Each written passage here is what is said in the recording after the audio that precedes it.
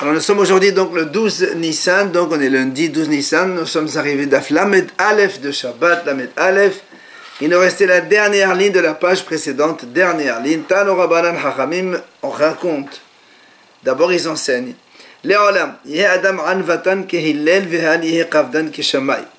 Un homme doit être donc euh, humble comme Hillel et non pas intransigeant comme Shamaï. Et effectivement on nous raconte il y avait deux, deux individus. Ils ont fait un pari l'un à l'autre.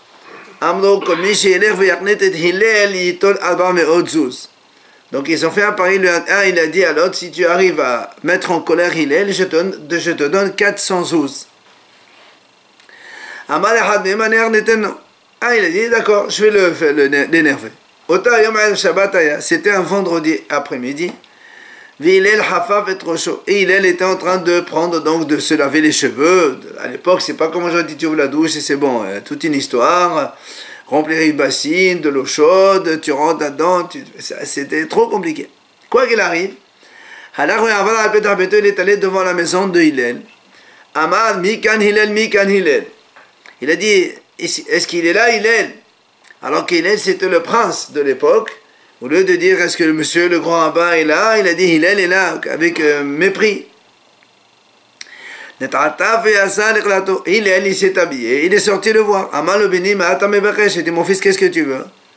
Amal il lui a dit j'ai une question à te poser. Amal Al Beni, Al. Il a dit pose mon fils, pose, il n'y a pas de problème, je t'écoute. Alors il a dit, mais. Pourquoi la tête des Babyloniens elle est arrondie? Elle est au, Valère. Hamal ou Béni, de la Il lui dit, mon fils, il a posé une bonne question. Mais il lui dit, parce qu'il n'y a pas de sages-femmes euh, qui savent faire leur métier. Et donc la tête, elle sort mal euh, arrondie comme cela. Alors, il est allé le monsieur, il est revenu quelques instants après. De nouveau, il dit, Est-ce qu'il est là, il est, est-ce qu'il est là, il est Encore avec mépris. Il sort de nouveau aux rencontres. Je dis, mon fils, qu'est-ce que tu veux? Il dit, j'ai une question à te poser. Pose, mon fils, pose. Alors, c'est quoi la question? Il dit, Il dit, pourquoi les yeux des Talmudiens, hein, elles sont un petit peu euh, comme ça, euh, effilées comme ça des, des Chinois? Amal de la mon fils, tu as posé une bonne question. Parce qu'ils habitent dans un endroit où il y a beaucoup de sable, il y a beaucoup de vent, et toujours ils sont obligés de fermer les yeux. Encore de nouveau, il a attendu un, petit instant, il est revenu une troisième fois. Il a de nouveau dit qui est-ce qu'il est là, il est, est-ce qu'il est là, il est. Et là, pour la troisième fois, il est, il sort, il se rhabille, il est Amalo, je lui dis, mon fils, qu'est-ce que tu veux? J'ai une question à te poser. Il dit, pose mon fils, pose. Il dit, mais il dit, pourquoi le pied des Africains, il est large, la plante du pied, elle est large. Amalo Benishel de la il dit, mon fils, il a posé une bonne question. Il dit, parce que mes ben ils habitent dans des endroits où il y a de la boue, c'est-à-dire ils sont obligés de, ils marchent pieds nus là-bas. Et donc le pied s'aplatit. Ils n'ont pas de chaussures pour contenir le pied. Enfin, il a, dérangé trois fois pour des, idioties. Et malgré tout, il lui a répondu tranquillement. Et à chaque fois, il est obligé de se rhabiller, de se déshabiller pour se laver les cheveux, de se rhabiller de nouveau, etc. Alors le monsieur l'a dit à Hillel, j'ai beaucoup de questions à te poser. Mais j'ai peur que tu t'énerves. Alors on est en où Hillel il s'est habillé, il est resté à côté, il s'est assis d'un côté de lui, il lui a dit, Amalo, toutes les questions que tu veux me poser, pose, vas-y, je t'écoute. Alors le monsieur, il a vu qu'il n'avait pas le choix, Amalo, Tahou, il est ce qu'on est en train d'essayer Israël. Il dit, c'est toi, il est le prince d'Israël. Amalo, il a dit oui. Amalo, Tahou, le Yebouk, Israël si c'est toi qu'il n'y ait pas beaucoup comme toi en Israël. Amalu beni me pourquoi tu dis ça? Amalu me pene shebat à travers mes ouz, il dit parce qu'à cause de toi j'ai perdu 400 ouz. Amalu il a dit Hillel, ben fais attention la prochaine fois. Kidaïhu Hillel shete abed al adama me ouz, adama me ouz, vehillel le Il est capable donc de, que tu de te provoquer de perdre encore 400 et encore 400 zuz, mais jamais Hillel ne se mettra en colère. Une autre histoire, le raconte. Il y avait un goy, Sheba Levni Shamay. Il est venu devant Shamay. Combien de Torah, de Torah vous avez? Shamay lui a dit on a deux, Torah Shebechtab et Torah. On a une Torah écrite et on a une Torah orale. Amalo ani ma'amincha. Il dit écoute, celle qui est la Torah écrite, je crois. Mais celle la Torah orale, je ne, je ne crois pas ce que tu me racontes. Alors, c'était la Médine Torah Shebertab. Convertis-moi mais avec l'intention que tu m'enseignes que la Torah écrite. Je ne veux étudier que la Torah écrite seulement. Alors le a dit, il l'a grondé et il l'a sorti donc en criant. Rachid dit, parce que normalement on sait que quand quelqu'un veut se convertir, il dit, sauf une chose, on a déjà vu ça avant, eh bien on ne l'accepte pas. Donc Shama il n'a pas accepté.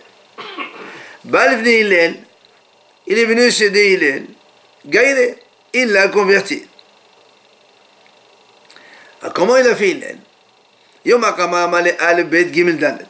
Le premier jour, il dit voilà, tu vas étudier. Il lui dit voilà, ça c'est Aleph, ça c'est Bet, ça c'est Gimel, ça c'est Dalet. Le Maha a perlé. Le lendemain, il a inversé. Il a dit ça c'est Tav, ça c'est Shin, ça c'est Resh, Rouf. Alors Amalé, le converti, lui a dit, mon Il dit, comment? Hier tu m'as dit autrement, maintenant tu me dis autre chose. Amalé, là, voilà, il dit Marthe, il dit, tu es en train de me croire à moi, non? Alors, des Alpenamis, Alors, même le Torah oral aussi, tu, tu me crois ce que je te dis. Effectivement, il est les pensées qu'avec donc le temps, il va le, lui enseigner comment.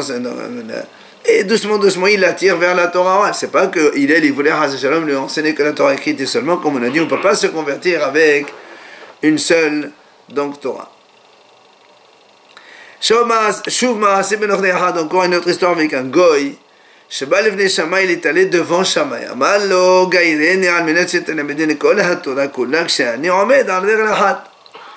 Il lui dit, convertis-moi avec la condition que tu m'enseignes toute la Torah quand je suis debout sur un seul pied. Alors la Mala raconte, il y avait donc un bâton, il a repoussé, il a poussé avec un bâton qu'il avait dans la main. Il est allé devant il lui a, il lui a dit la même chose. Convertis-moi à condition que tu m'enseignes toute la Torah alors que je suis sur un seul pied. Gaïre, alors il est, il a converti. Qu'est-ce qu'il lui Comment avec un seul pied tu enseignes toute la Torah? Amalo, il est, il dit. Voilà. Le principe fondamental de Alarsane le la Tavid. Zoïko la Torah.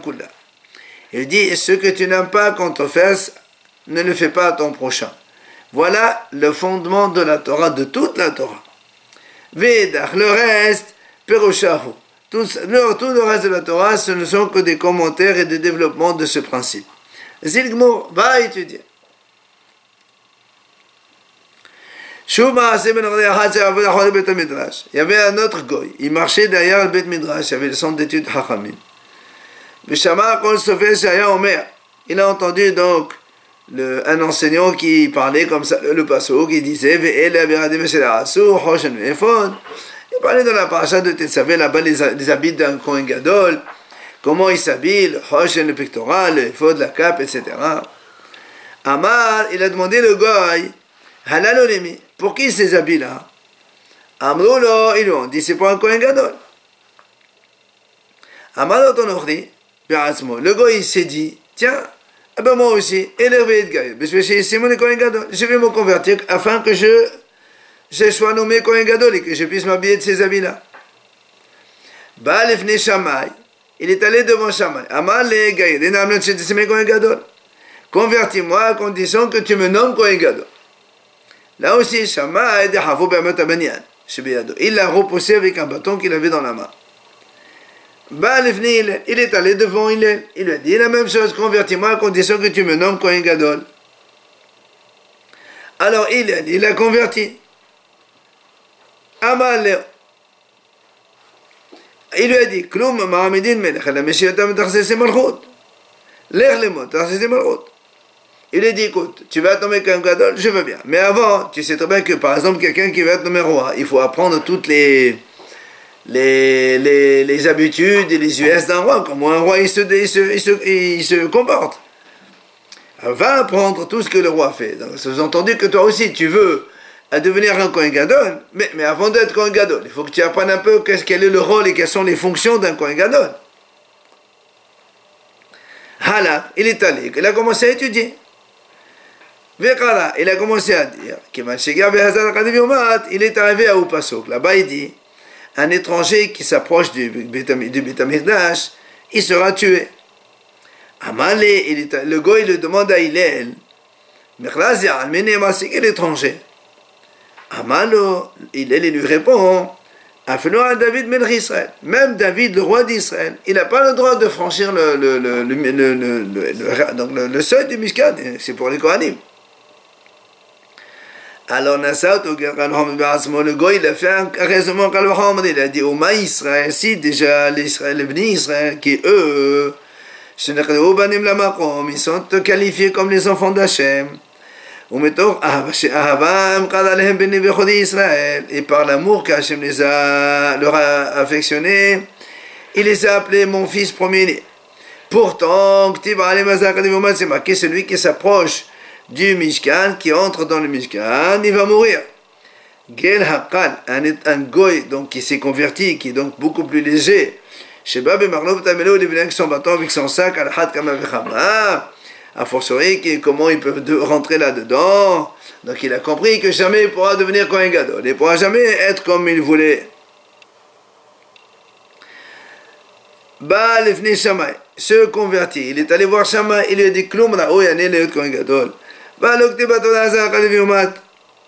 Il est allé voir Shamay, il dit Pourquoi tu m'as repoussé? Tu aurais pu m'expliquer, est-ce que moi je peux devenir Kohen Gadol? Je ne peux pas, puisque tout étranger, c'est marqué dans la Torah, celui qui s'approche du Mishkan, il sera tué.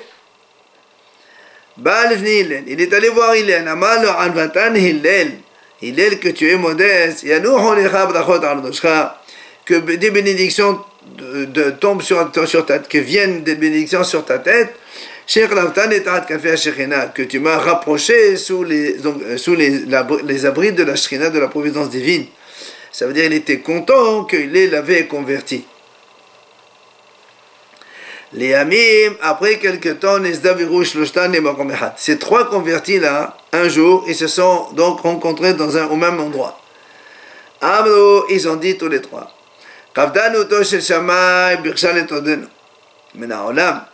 La, la, la, la colère, donc l'intransigeance de Shammai a failli nous renvoyer du monde.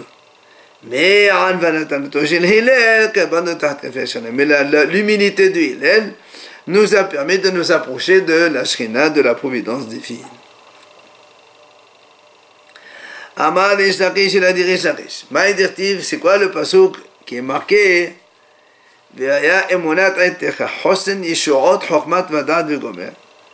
Alors il dit, en fait, ce passage-là représente les six sdarim de la, de la Mishnah ou donc du, du Talmud. Emunad zesed Ezraim. Emunad, donc la foi, c'est Ezraim. Pourquoi Ezraim Parce qu'on a dit, donc, y a, on, quand on sème, on a la foi en Hachem que ça va pousser. Ou bien quand on donne les maasot, on sait qu'Hachem va nous rendre après. Bon, les temps, c'est tous les, toutes les fêtes. Shabbat est fête. C'est le deuxième Seder. Hosen, c'est Seder Nashim. Il dit Hosen, ça vient du mot héritage, et c'est grâce aux femmes que les gens naissent et qu'ils héritent. Yeshuot, c'est Seder Nezekin, évidemment. Yeshuot, c'est la délivrance, c'est-à-dire quand quelqu'un a un dommage, on le, euh, euh, on le juge et on le libère de problèmes que, donc on peut lui faire. Chokma, c'est Seder Kadashim. La Chokma, c'est tout ce qui est Kadashim. Vada, tout ce qui est donc les lois de pureté impureté. Malgré tout cela, il dit Irat Adonai Osaro. La crainte d'Hachem, c'est la principale chose qu'il faut avoir, c'est un peu le trésor qu'on doit avoir. Amad il a dit Rabba. Quand un homme il va être donc jugé dans le ciel, on lui dit On lui pose plusieurs questions. La première question est-ce que tu as travaillé avec donc avec euh, honnêteté. Est-ce que tu as fixé un temps la Torah? Est-ce que tu t'es occupé dans le message de se reproduire? Est-ce que tu as espéré la Ishora, la Géoula, la délivrance? Est-ce que tu t'es aiguisé dans la sagesse? Et est-ce que tu as compris, tu as déduit une chose d'une autre est-ce que tu as étudié toute ta Torah? Malgré tout ça, si il a la crainte d'Hachem, tout ça c'est bon. S'il n'a pas la crainte d'Hachem, tout ça, ça ne vaut rien. Il dit pourquoi? Mashal le Adam. C'est comme l'exemple d'un homme. Fais-moi, mets-moi, prends un kor donc une grosse euh, euh, mesure de blé, corps, c'est à peu près 250 kg de blé. Monte-les à l'étage. Il lui a fait monter, il lui a monté. Amalo, il a dit, est-ce que tu as mis avec le blé un petit peu de hontoun, c'est-à-dire, Rachid dit un petit peu de terre qui permet donc justement au blé de se conserver? Amal est là, il a dit non. Alors. Il vaut mieux dans ces cas-là que tu n'aies pas fait monter. C'est un petit peu comme la, terre qui permet la préservation du blé. Eh ben, c'est la crainte d'Hachem qui permet la préservation de toute cette Torah. Tana dans la Rishiva de Rabbi Ishmael, on enseigne, Un homme, il a le droit de mélanger avec le blé un peu de terre, comme on a dit, et il n'y a pas de crainte de gazelle ou quoi que ce soit. C'est comme ça que le blé est préservé. Donc c'est normal qu'on y met comme ça au moins. Hein. Après, quand il le vend, même s'il y a un peu de mélange de cela, c'est pas grave. Amar il a dit Rabba Baramuna. Adam tout homme qui a de la Torah, mais qui n'a pas donc la crainte d'Hachem, דומה לגזבר שמסרו לו מפתחות הפנימיות ומפתחות החיצונות ומסרו לו ביעיל. Il dit c'est comme un homme, comme un gizbar, un, percepteur d'impôts ou un percepteur de quelque chose que ce soit. On lui a donné les clés de, toutes les, de tous les coffres mais on ne lui a pas donné la clé de la chambre où se trouve le coffre. Comment il va accéder là-bas Donc tu vois bien que là, en fait, la crainte d'Hachem, c'est en fait, c'est ça, hein, la clé pour aller à toute la Torah. Machriz Rabbi Anaï, Rabbi Anaï déclarait Habal al delit le data, vetara le data avid. Dommage, celui qui n'a pas de crainte d'Hachem, il ressemble à quelqu'un qui n'a pas de, de cour, il n'a pas de maison. Et quand il construit une porte, à quoi ça sert la porte? Il n'y a pas de maison pour la mettre.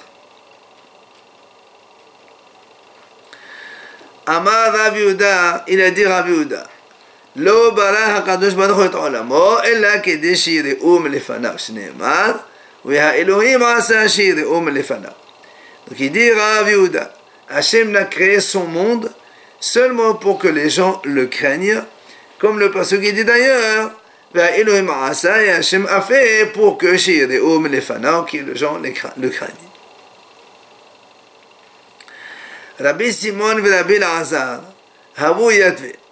Raconte, il y avait Rabbi Simon et Rabbi Lazare, il était assis. Halif Azil Rabbi Yaakov Il est passé à côté d'eux. Rabbi Yaakov Amal et Had Un, il a dit à l'autre, les deux qui étaient assis, Rabbi Simon et Rabbi Lazare. Un, il a dit à l'autre, N'ekohamed de Gabada Hilhet inhu. On se lève devant cet homme-là qui craint le péché. Amal l'autre lui répond On va se lever devant quelqu'un qui est un Ben Torah, ça veut dire qu'il est un Talmid Hacham. Amalo, l'autre lui répond, il lui dit.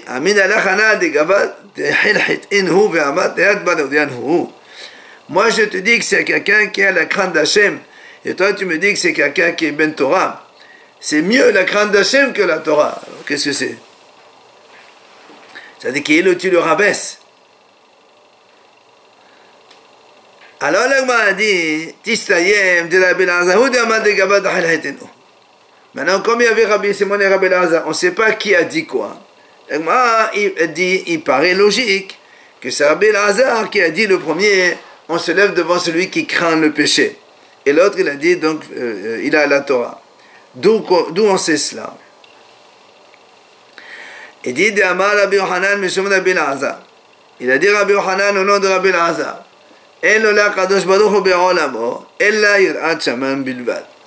Hachem, il n'a dans son monde que la crainte d'Hachem seulement. Comment tu sais? Sheneema, c'est marqué dans le passo.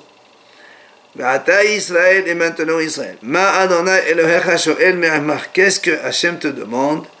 Qui im lira et Elohecha, etc. Seulement de craindre ton Dieu et c'est tout. Urtiv. Et c'est marqué dans un autre passo. Hen Adonai hi Parce qu'au début, il y a marqué Hachem, il te demande seulement de le craindre. Mais peut-être qu'il y a autre chose. Il dit non. Il y a marqué Bayom al Il a dit à l'homme, Hen nirat Hashem hi Il dit voilà, la crainte d'Hachem, c'est quoi? C'est ça la sagesse.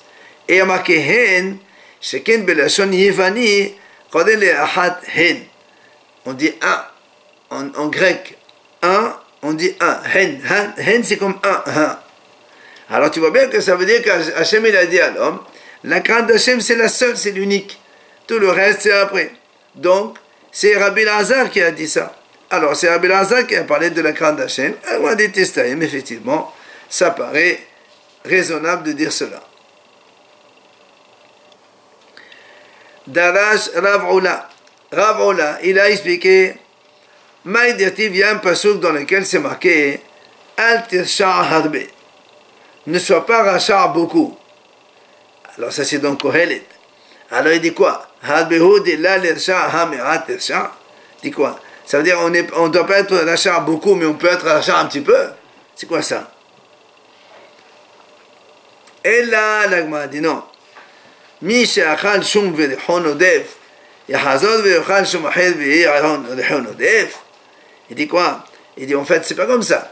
Il dit celui qui a mangé de l'ail et qui dégage une mauvaise odeur, est-ce qu'il va remanger encore de l'ail pour donc dégager encore de la mauvaise odeur C'est ça en fait, ils disent. Quand on dit euh, c'est-à-dire quand tu as fait un péché, ne dis pas, allez, puisque j'ai fait un péché, alors je fais encore plus. C'est bon. Non.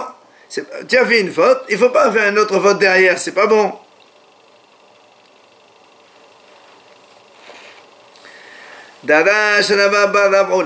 Il a expliqué là-bas la voilà maïdirtif. C'est quoi le passage qui dit qu'en hasubot le motam uvari olam? Alors, c'est quoi ce passage? Il dit Amal akadosh baruch lo dayan la sha'im. Ce n'est pas suffisant au reshaim. Le mot hatsubot, hatsubot, on dit haridim et atzivim, c'est le mélange des deux mots. Ça veut dire, il dit les non seulement ils ne tremblent pas, ils n'ont pas peur du jour de la mort, et là, chez les Bambari Lahim Kaulam, leur cœur, il est solide comme un grand palais. Ça veut dire ils n'ont pas peur.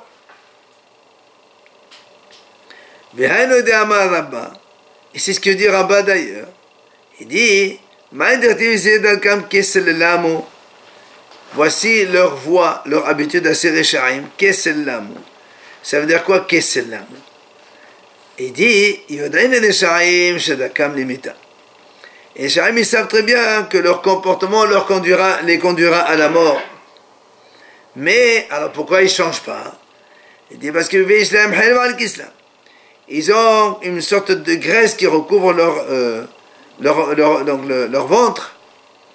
Et donc, du coup, ils n'acceptent pas les paroles de Moussa qu'on leur fait. C'est comme une sorte d'enveloppe qui fait que il n'écoute pas. Ah, Shemé Thomas eh, Peut-être tu vas dire, ah, mais peut-être qu'ils oublient que euh, ils sont donc considérés comme des gens qui ne font pas exprès et tout ça. Ah, il dit non, Talmud Loma,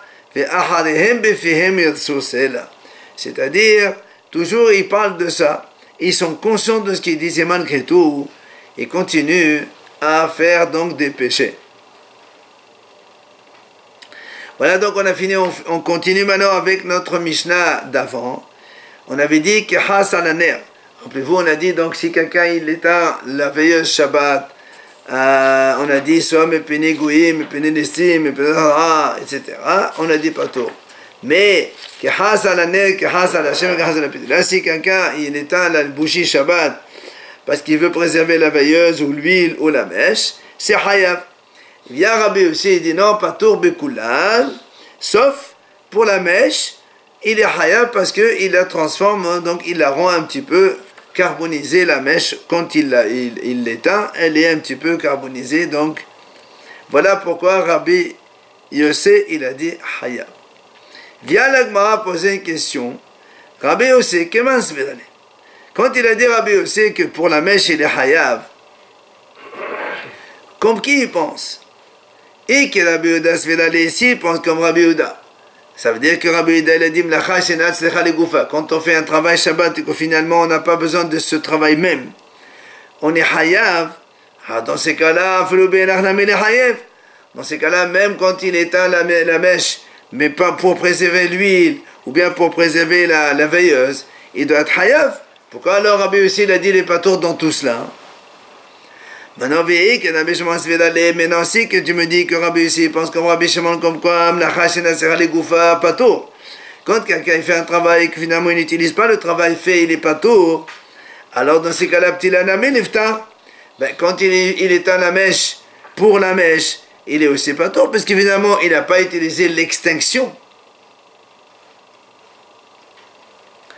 Amar Ola, il répond Ola. En vérité, il pense comme Rabbi Uda. Donc ce Rabbi aussi, il pense comme Rabbi Uda que quoi? Il est Hayaf. Donc tout travail qu'il fait, même si tu n'utilises pas le travail, il est Hayaf. Seulement, Rabbi aussi, Rabbi aussi, il dit Soter al-menat livnot bimkomu habe soter, al-menat livnot shelo bimkomu la habe. Parce que nous, on a un principe les, tous les travaux dans le Mishkan, les 39 travaux de Shabbat qui sont interdits, quand il y a quelqu'un qui est ce qu'on appelle détruit, par exemple, il y a construire, détruire, écrire, effacer, euh, coudre, déchirer, et ainsi de suite, ou bien construire, détruire. Eh bien, quand on construit, ça c'est un travail qui est fait directement. Quand on, détruit, on abîme. Alors normalement, on n'est pas hayab.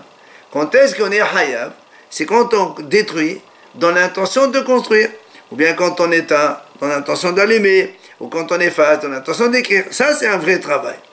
Vient l'Agma nous dire que Rabbi aussi, dit, lui, quand est-ce qu'on est hayaf? Seulement quand on détruit pour construire au même endroit qu'on a détruit. Mais si tu détruis, que après tu construis ailleurs, alors ça s'appelle pas détruire. C'est pour ça, quand tu éteins la mèche elle-même, pour la mèche elle-même, puisque tu vas la rallumer après, dans ces cas-là, c'est hayab. Mais quand tu, tu éteins la mèche, mais pour la, veilleuse ou pour l'huile ou autre chose, ça s'appelle pour construire dans un autre endroit que l'endroit où tu as éteint. C'est pour ça il a dit, c'est pas tout. Alors, viens, la lui poser une question à mal et là-bas, Rabat lui dit, alors dans ces cas-là, il y a un problème. Pourquoi? Il dit merde, c'est vrai. Kol melachot mishkan. Donc tous les travaux, donc tous les 39 travaux de Shabbat, on les apprend du Mishkan. Et pourtant, lui a dit, viens à table. Il dit pourtant dans le Mishkan, quand on détruit le Mishkan, quand on démonte tout, le les poutres et tous les rideaux et tout ça, quand on les démonte. Après, quand on va les reconstruire, on les construit pas au même endroit, on les construit ailleurs. Alors pourquoi toi, Rabbi aussi, tu dis, que seulement quand on construit au même endroit, on est hayab, et quand on se construit dans un autre endroit, on n'est pas tour. Voilà, pourtant, c'est un travail qui existait dans le Mishkan. Amal, il lui a dit.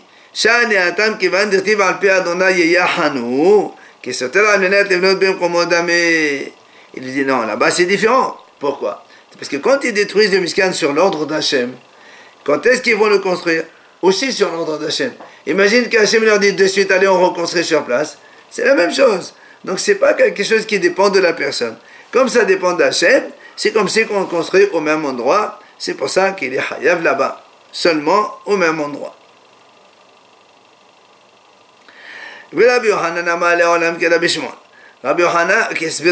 Rabbi Yohanan il donne une autre réponse. Il dit en vérité, Rabbi Yossé qui a dit que tout est pas tout sauf la mèche et les hayav, il pense comme Rabbi Shimon. Comme quoi. Quand quelqu'un il fait une, il éteint le feu, mais qu'après il n'a pas besoin de cette extinction, il est pas tour. Donc je comprends quand il a dit pour la veilleuse, pour l'huile, euh, il est pas tour. Maintenant, pourquoi pour la mèche il est hayab Ou hein? Pourquoi pour la mèche il est un, il est hayab Il a dit comme il a dit Rabbanuna et certains disent comme il a dit Rabbanuna Ava. Hacha, c'est-à-dire les havhava asqinnan.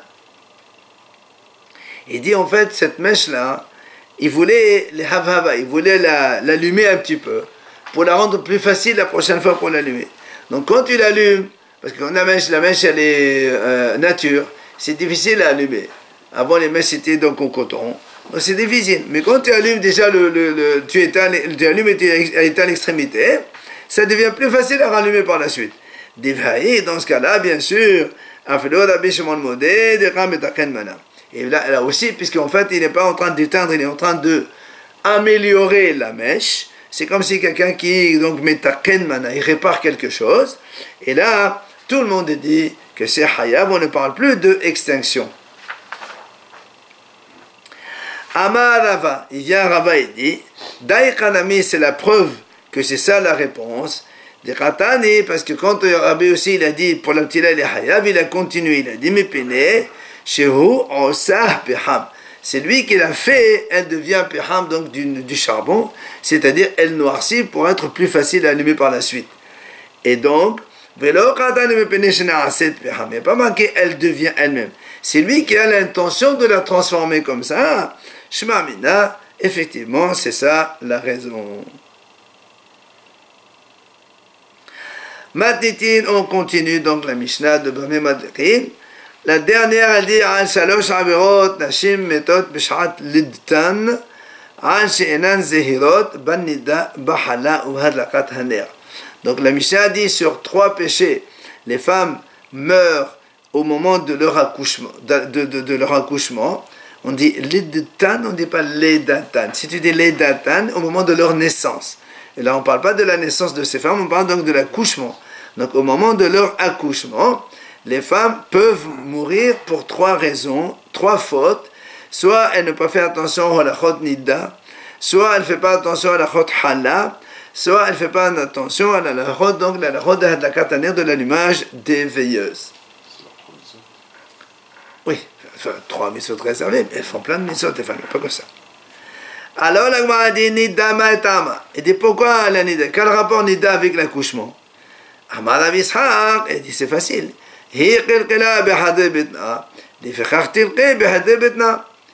Il dit, c'est normal, Nida d'où ça provient? Donc de l'utérus, là où il y a le bébé qui se fabrique. Alors là aussi, Hachem il va la frapper là-bas où le sang se fabrique. Alors là, m'a dit, d'accord, Tenar Nida. Halla quel rapport maintenant avec Halla et avec l'allumage des veilleuses et avec Nida, donc avec le sang, que la, la femme elle meurt. Il dit Comme il a expliqué ce Galiléen devant Rav Hazda, il lui a dit comme ça Amar Akadosh Baruch Hashem il a dit J'ai mis dans l'homme c'est-à-dire le minimum de sang que l'homme euh, peut contenir pour vivre, c'est 86 millilitres de sang. Pour des halachot de sang, je vous ai prévenu. C'est tout ce qui est halachot, évidemment, de la femme Nida. Karat etrem. Je vous ai qualifié de premier. Pas ce qui dit Rishit et vous ato. Et et je vous ai aussi demandé de faire attention c'est la halachot des premiers. C'est quoi les premiers? C'est la hala. Puisque dans la Torah, la mitzvah de la hala c'est marqué Rishit arisotechem. Tarimu donc Rishit, le début de la pâte. Enfin, troisième chose, Neshama shenatati bechem ner. L'anshama que j'ai mis en vous, que j'ai insufflé en vous, elle s'appelle Ner, une veilleuse. Et je vous ai donné la lachot concernant l'allumage de l'allumage des veilleuses. Ah, donc, il y a trois choses que je vous ai demandé. Si vous appliquez ces trois lachot, c'est bien. Sinon, alors je prends votre âme. Ah, l'agma dit Et pourquoi seulement la femme elle meurt au moment de l'accouchement, pas à un autre moment, si elle fait pas ces choses-là? Amad Rava, il a dit Rava, Nafal Torah les Sakina. Il dit c'est un petit peu un dicton quand le taureau il tombe à terre, il guise ton couteau et tue-le. C'est-à-dire quand ta femme elle est allongée au lit parce qu'elle va accoucher, c'est là où elle est prompte à, donc, à mourir. Alors l'ange vient, Shalom, il lui prend son âme parce qu'elle a fait ses trois fautes. Abaye Amar Abaye donne une autre, euh, un autre dicton. Il dit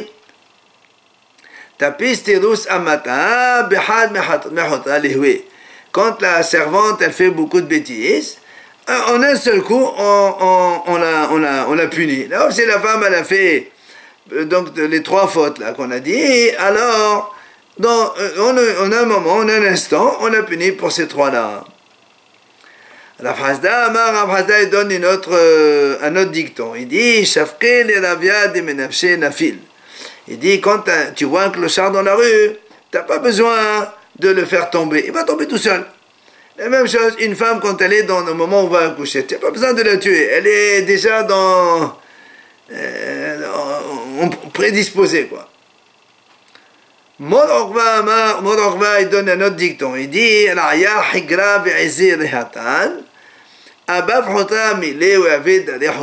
Il dit quand on a un berger boiteux et que tu as des chèvres, un, troupeau de chèvres qui, elles, les chèvres, elles courent très très vite, alors, comme il ne peut pas les rattraper, ben, quand il arrive à Babhotra Milé, quand il arrive devant le, euh, le, là où le les, chèvres viennent pour boire.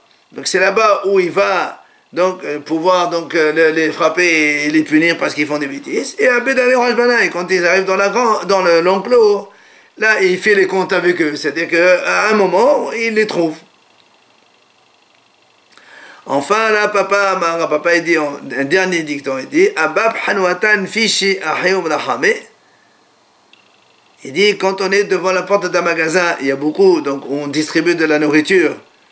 Eh bien, on donne à tout. Enfin, l'homme, il a beaucoup d'amis, puisqu'il il veut évidemment qu'on lui donne à lui aussi. Mais Abba visionné, là, il dit, mais quand il y a des bisounotes, des mépris ou des choses comme ça, un homme n'a ni des frères ni des amis, ça veut dire qu'il n'y a pas de pitié. Quand il arrive un moment, ben, c'est là où il faut payer la note. Donc c'est comme ça que la Mishnah, donc elle a dit, donc ces femmes-là, si elles ne font pas les trois mitzvot,